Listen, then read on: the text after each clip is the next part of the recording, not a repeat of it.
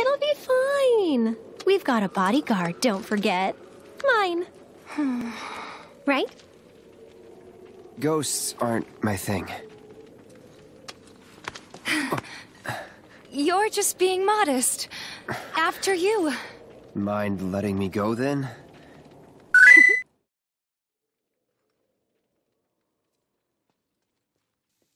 Really going all in on this ghost thing, aren't they? What was that? Look! Over there!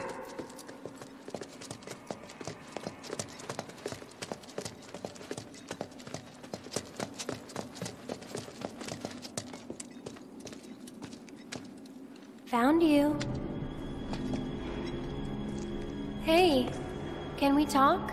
Just for a bit?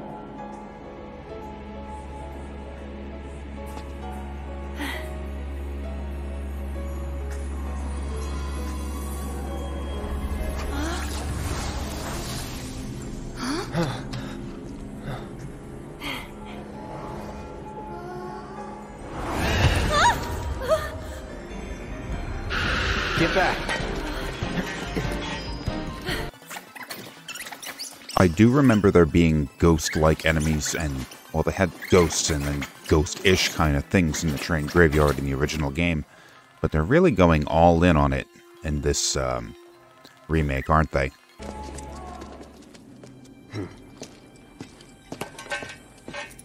Don't! That thing's dangerous. I know, but even so.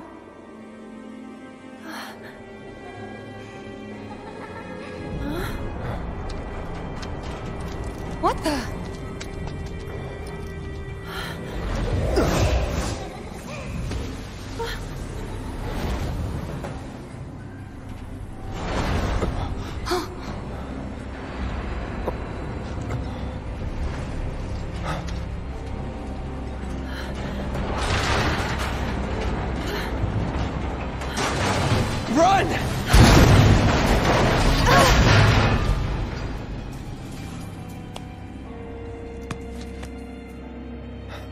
You okay? Yeah. Thanks, Cloud. You saved us.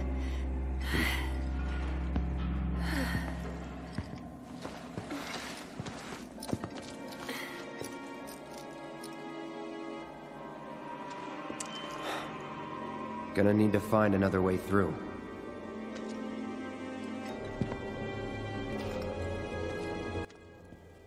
No turning back. The very idea of ghosts in the Final Fantasy VII world seems a little bit screwy because aren't people and creatures and trees and whatever, when they die, supposed to return to the life stream? And that's essentially how, like, there really isn't any kind of like heaven or hell or anything like that. But there is kind of this eternal existence with your spirit energy returning to the life stream, and that's essentially what happens every time you die, or whenever anything dies. So, how does anything become a ghost if intrinsically that's where everybody ends up? I mean, that's just how life works in this place. You live, then you die, then you return to the life stream. There's nobody that gets stuck hanging behind. I don't know of any kind of mechanism that would make this happen. This train will be stopping at the Sector 7 slums and bound for the train graveyard. The train be... Please stand clear of the closing door.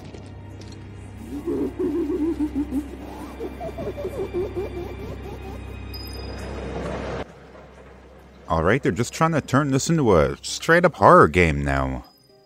Alright, well, I mean, there have to be different phases and different themes explored throughout these kinds of games, and we're just sort of going through the horror themed section. That's not funny, though. Guess the crane's up there.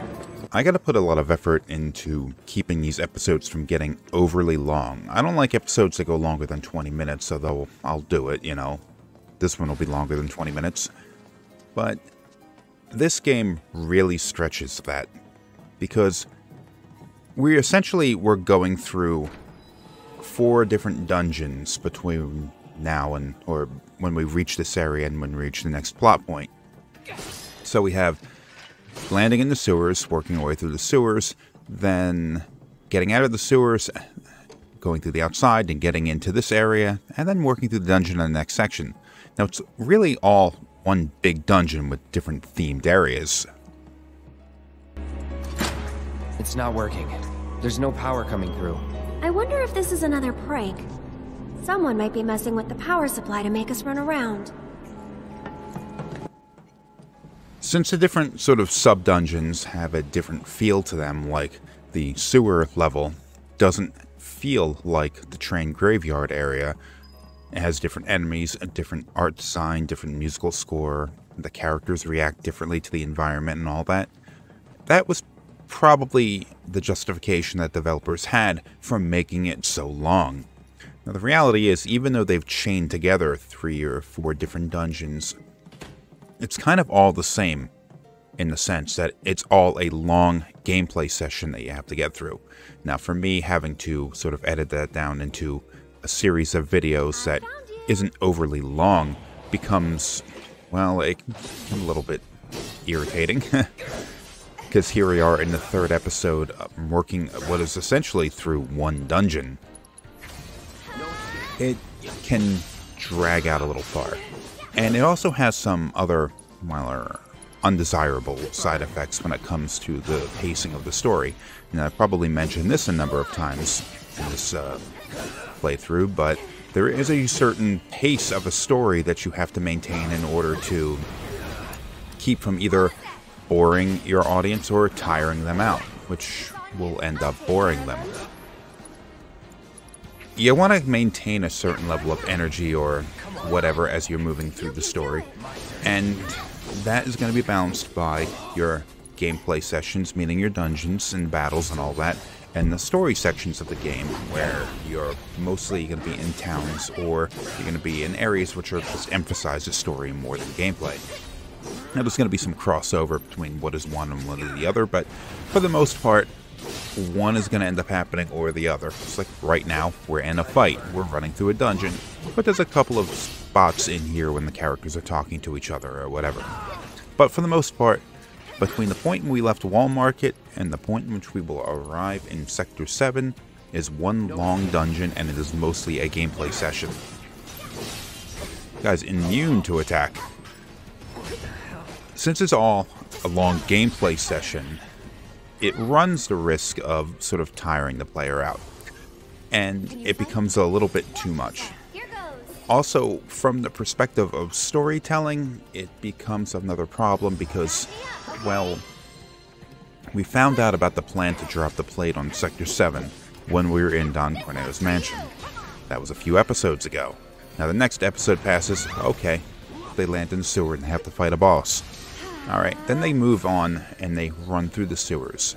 Alright, well, okay. That dungeon fairly long, but okay, you get to the other side of it.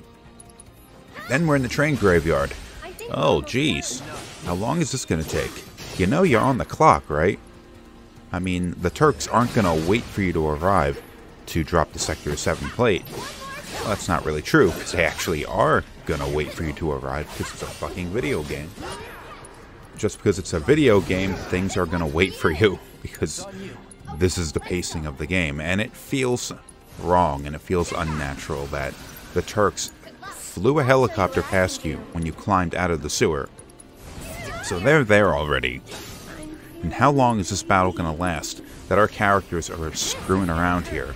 Really, none of these people should be taking a moment to stop and talk to each other or anything. They should be sprinting through this area. It doesn't make any sense to me that we're screwing around here. Now, I know they're, the doors are locked and they're barred through and all that, but just this entire, all of the interactions here feel unnatural, and it feels like they spend way too much time here. Especially at this point in the game, and then it, it, there's an even more egregious example of this later we'll get to when I reach that episode. But it paces itself poorly in a lot of these places. I mean, overall the story is good, but I I mean, it's a nitpick. I'm nitpicking. Do you think there's More in here? Hmm. Looks like. Aha! Found you!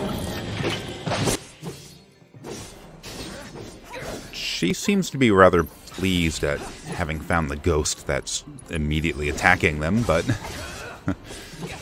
okay, so we're seeing a pattern. Now, I'd mentioned this in previous episodes that there were they were going through a kind of a pattern of having all the characters sort of do each other favors.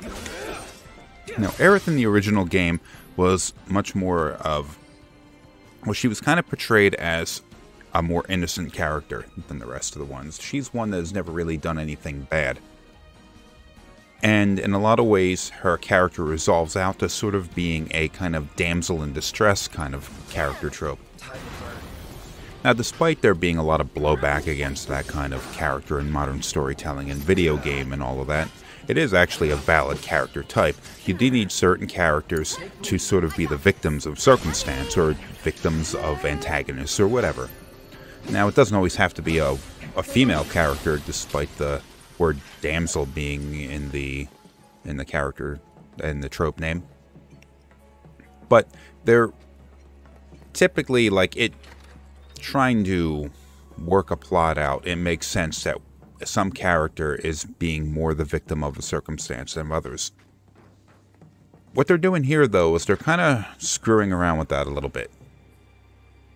So they have the different characters all portraying certain kinds of weaknesses here and there. Now, Tifa is supposed to be the physical superior of Aerith. She's got the she's got her fists of fury and she can beat the hell out of things. So, like in that fight in Corneo's mansion, Tifa just punches and kicks everyone. Aerith goes and hits people with chairs. Not really a gameplay thing, but just the way it works out in stories. Now here we're having it sort of turn around. Now, Aerith is the one with her, I guess, her connection to the planet and all that, is the one that has a greater understanding of the ghosts, and she's not really afraid of them, even though they're overtly hostile, or most of them are anyway. And Tifa is terrified. Tifa is afraid of ghosts. Cloud seems they're trying to just make him be kind of a non-element in this whole uh, trifecta here. He's sort of staying out of it. He's not afraid of the ghosts, but he's not gung-ho about it either. But what they're supposed to be happening here, you're supposed to be focusing on Tifa and Aerith. Aerith is not afraid, Tifa is. Now, of course, there's a chance for character development here of Tifa overcoming that fear. But, I mean, they're doing what they can. I'm pretty sure I saw a door on the other side of this place. I think our only choice might be to find another route. I guess if they didn't add that little those little character bits to this dungeon, it would just be a long dungeon where your characters moved from one end to the other and it would be a little bit more boring. They want to add a little bit of character to these dungeons. They're not just places where you fight and move from A to B. Unfortunately, I think they kind of do the character of Tifa a little bit of a disservice here. Tifa is supposed to be tough. She's not supposed to be someone who's afraid of things. In fact, I don't really remember too many instances in the original game where Tifa really shows any kind of fear. I mean, shit, she picks up Sephiroth's sword and then tries to stab him with it. I mean, uh, whatever. Fortunately, something that they're doing in this game that I feel is a flaw of sort of earlier RPG or JRPG style storytelling was was to avoid the sort of uh, I'm going to make up a term on the spot here and call it a plot island. The idea behind this Okay, it's a stupid term, but I'm going to use it anyway. The idea, my idea behind a plot island is that you have a character who gets introduced. And the bulk of the game, they really have nothing to do. They just sort of exist there. They're one of your people in your battle party and all that kind of thing. But they're not really doing anything. But then there comes their time to shine. And that character will step into the forefront. Now, eh, let's say the original Final Fantasy VII. Um, Red 13's uh, plot island was when he arrived at Cosmo Canyon. Now, all the other characters are there. Cloud is there, Tifa, Barret, Aerith, they're all there. But the character that gets the focus of the story at this point in the game is Red 13. Same thing happens to Barret when you get to um, to Corel and Gold Saucer and the desert prison. He reaches his plot island, and that's where the bulk of his character development, all that kind of stuff, takes place. You understand the character, you learn a few things, the story moves forward on them. I'm not seeing any plot islands so far in this game. I mean, I guess Aerith can't really have one because she is central to the early part of the game. Cloud isn't going to have one, of course, because he's the main character. Tifa, mm, I don't really know how to describe her progression through the original game because she takes part in other people's stories. She takes part in Cloud's story. She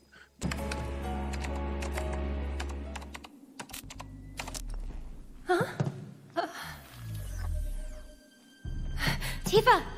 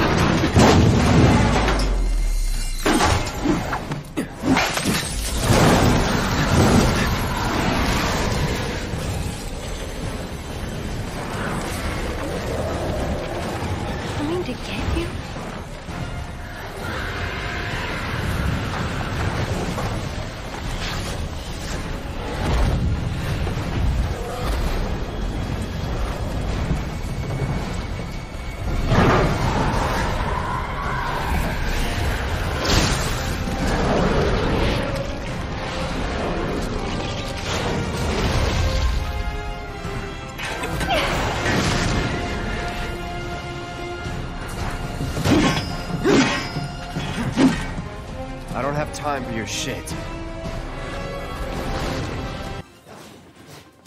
I guess I can see a few advantages to the co- concept of a sort of a plot island style story where you can allow a side character to sort of take center stage. Now, in this sort of circumstance, even though this dungeon's um, character interactions are really about Tifa and Aerith, it's not really like big.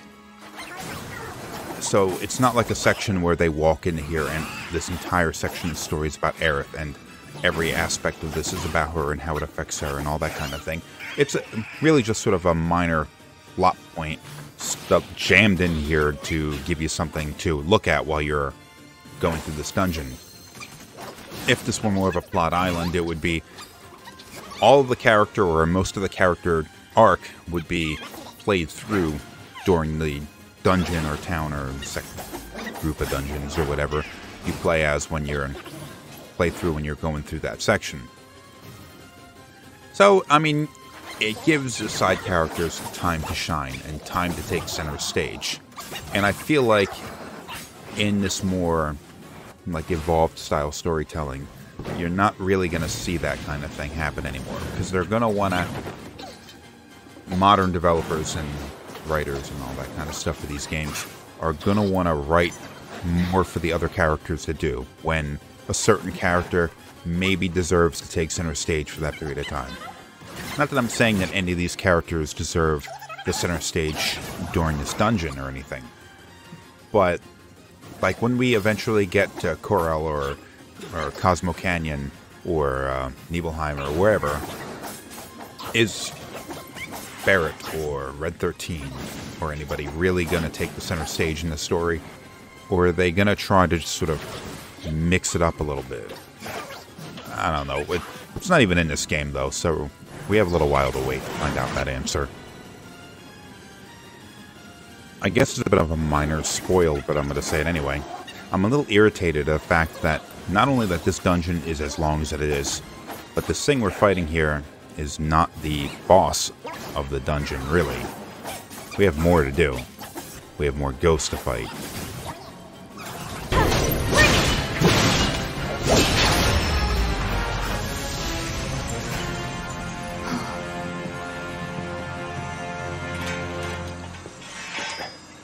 That was fun.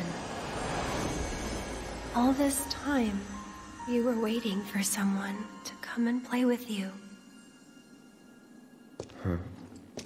What are you talking about? Come on, let's get back to the crane. Tifa, They're really gonna drop the plate. they won't if Barret and the others have anything to say about it. All we can do now is keep moving. Hmm.